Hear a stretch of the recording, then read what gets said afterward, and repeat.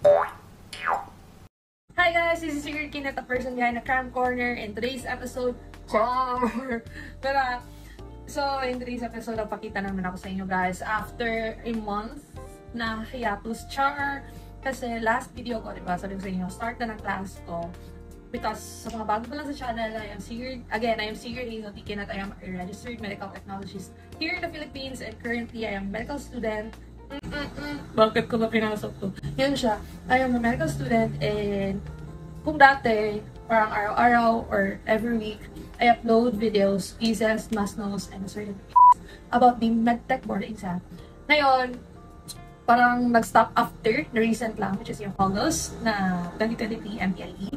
And nakita nyo na rin sa video, or sa channel na the last video that I upload, it was the, ano, mock boards. Yun siya. Mock board series part 1 and part 2. And ang pinaka-last pala talaga is yung hematology because I think baka, ano, parang baka mahirap yung hima ngayon. Pero so far, sa mga nag-share about sa board exam, medyo okay pa si hima, ang medyo tricky daw is yung clinical microscopy. I don't know if same ba sa lahat na tricky sa microscopy, pero sa AUBF daw ngayon is medyo tricky. And also, I would like to, ano, uh, use this opportunity to again congrats sa mga newly registered medical technologists that uh, we from RMPQP to RMPGP. Uh, ganun ba your yun siya. So, Alwi, congrats sa inyo guys. And also, uh, meron kasi ako mga juniors dati sa school ko na ngayon kabatchmate na sa med. Because after graduation, graduation din nila, na med sila. Yun siya, wala silang gap year. And yun sila, yung tatlo, congrats sa kanila. Kasi RMT na din sila. And ayun, nagsabay lang akad sa med and also review sa RMT. So, masaludo dyan. Then also, yung isang kabatch ko ito, si Thea, RMP, QT to RMP to MD, future MD. So, yan sila mga classmates ko ngayon sa med school. So, congrats sa kanila guys. And, and congrats sa'yo na I think RMP ka na ngayon. And if bago ka pa lang sa channel, RMP ka rin next March 2024. Speaking of March 2024, this is the parang the main purpose of this video. Kasi, di ba nakalong hiatus ako last last month. So, ngayon, hindi ako makaka-promise na I will upload same na frequency dati na every day or every week. Every second, na nag-upload. But I will try sa national break namin. Certain mga possibly October, October or December something. Kasi hindi na hindi pa naman din ano, review season for MTLE na yon. So baka October or December I will upload same intensity na like same oh, same na ano sequence which is you get Binke, Michael Para, tapos UPF, HIMA, ISPB, and HTML na mga topics, visas, national status. Yun siya. So, ma-upload natin yan for the March 2024 na edit. And again, yun nga, I would like to thank thank you sa mga nag-message sa Telegram, sa email na from RMP, RMP na sila ngayon. Diba sabi ko sa inyo na magiging RMP kayo guys. Kasi nag-review kayo. so, magiging R&D kayo. Yun lang yun. Gaslight is the key, diba? Sabi ko sa last video, gaslight is the key.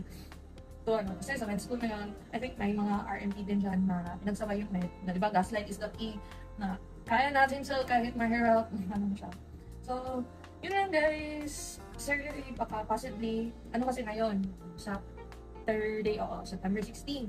And ano lang, PMI, last day na exam ko kahapon. So pray for me guys na lahat ng subjects, lalo na sa physiology, is papasok. Ah, ang hirap ng physio guys. So sa mga nagbabalak mag-med na nag-gap year pa, so ako sa inyo, read na kayo ng Gaiton guys. read na kayo ng physio. So yun siya. Then, ano ba?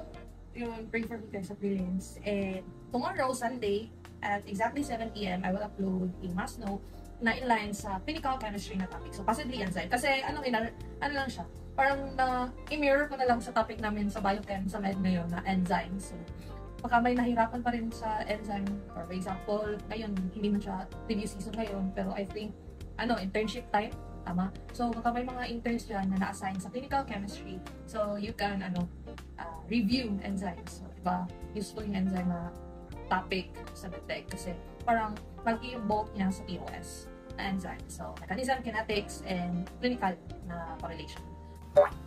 So, yun siya.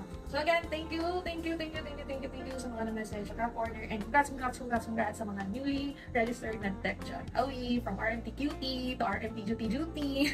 ano na. So, yun lang siya guys. So, again, if may mga questions kayo, you can email me sa camcorner20 at gmail.com or message me sa Telegram. Pero sa Telegram medyo malabo siya kasi ang school namin ginagamit yung Telegram as sort of communication sa doctors din namin. So baka maano, baka hindi ko makita. So sorry, so pwede sa ano na lang sa Gmail, ano ba ito? Offer. Ano ba ito guys? Yun siya. So, yun siya. Then, may mga drives. Ayun pala, yung drives ko na share nyo siya sa Twitter. And, pwede nyo siya i-access. Ako pala mag-upload din ako ng mga ano, EPTs doon in a PDF file. Mga previous din kasi nakalimutan kong i-upload yung mga quarter series, questions and answers, the rationale behind the questions and answers, and some sort of mga mas notes pa. Nakalimutan ko kasi i-upload sa drive. So, yung drive nasa description link below. Yun siya. So, dun lang. Then, so talaga, yung may talaga ba for March 2024, can you comment down below kasi gusto ko mag mag-join para from time to time mas send ko yung link sa drive or sa notes or sa video na ma-upload. So, yun lang. Again, sa mga bago pa sa channel, I am Secret Little Ikinet RMP and Future MD. Kawaan ng Diyos. Jeremy and the person behind the front corner and see you when I see you. So goodbye!